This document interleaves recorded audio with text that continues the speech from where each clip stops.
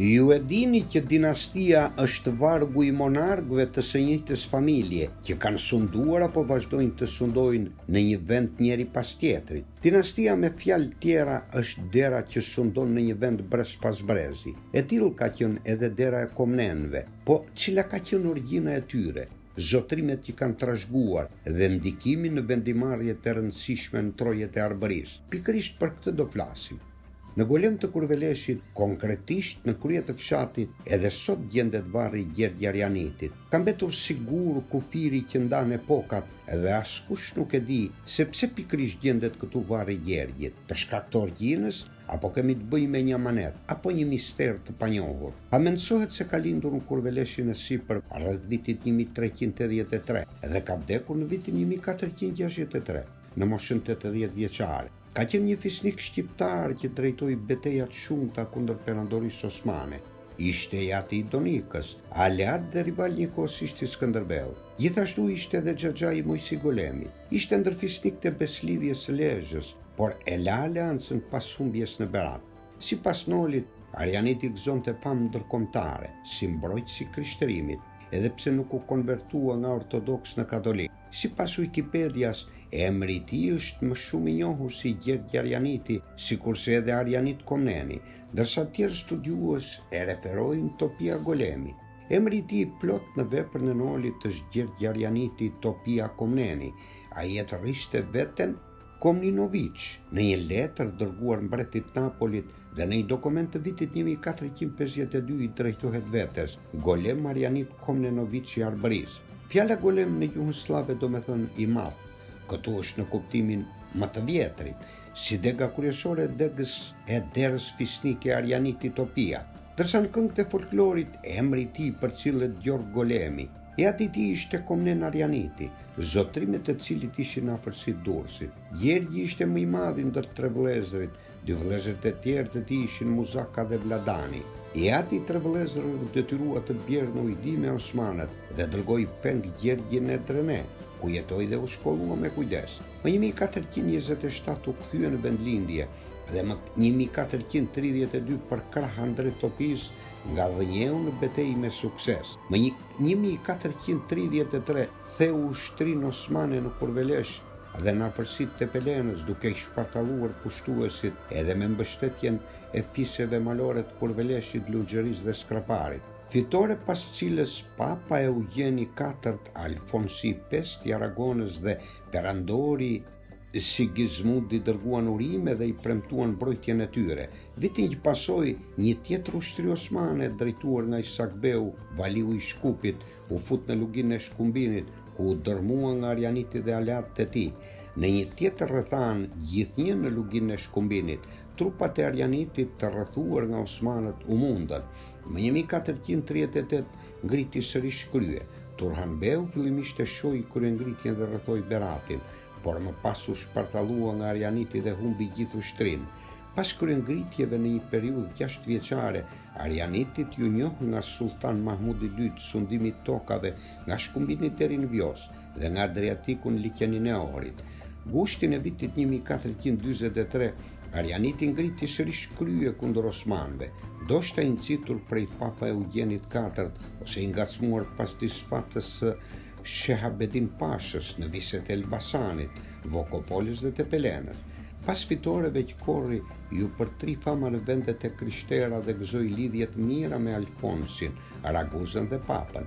Më një mijë e katërqind e dyzet e katër, kur predikonte kryqëzatën e princërve të krishterë kundër osmanëve, Papa Eugjeni IV e quante sundimtarin arbër më të rëndësishëm dhe më të besueshëm, ndonëse ishte ortodoks. Më 1451 u shtrëngua të lidhte aleancë me Alfonsin e Pestë të Aragonës, pasi nuk mori asnjë ndihmë u kthye kapiten Venedikas. Sipas Barletit, ndërroi jetë në territorin Venedikas. Në Durrës ose në Shkodër, edhe pas vdekjes së tij më një mijë e katërqind e gjashtëdhjetë e tre sipas Nolit Skënderbeu ia aneksoi zotërimet, por pa cituar ndonjë dokument sipas Sirdanit. Mirëpo dinastia Komneni s'fillon me emrin e Gjergjit dhe s'përfundon këtu. Sipas studiuesve, të cilët janë marrë me dinastinë e Komnenëve, kjo dinasti përfundon me perandorin e fundit të Trebizondes dhe pikërisht me Davidin e Dytë Komneni, i cili ishte perandori i fundit i Trebizondes prej vitit 1459 deri në vitin 1461. Të tjerë studiues thonë se kjo dinasti nuk përfundon kurrsesi me Davidin e dytë të Trebizondes, pasi sipas eruditit italian Lorenzo Miniati, në Durrës në vitin 1505 lind Aleks Komneni i fundit. Informacione interesante na sjell autori Entor Canaj, të cilat i ka publikuar albspirit.com. Burimi i referencës është italiani Lorenzo Miniati, i cili në veprën e tij gjenealogjike për dinastinë e Komnenëve shkruan për Aleksin e Fundit, apo njohur ndryshe si djali legjitim i Aleks Komnenit i arratisuri, duke sjellë informacione për brezin e katërmbëdhjetë të Komnenëve.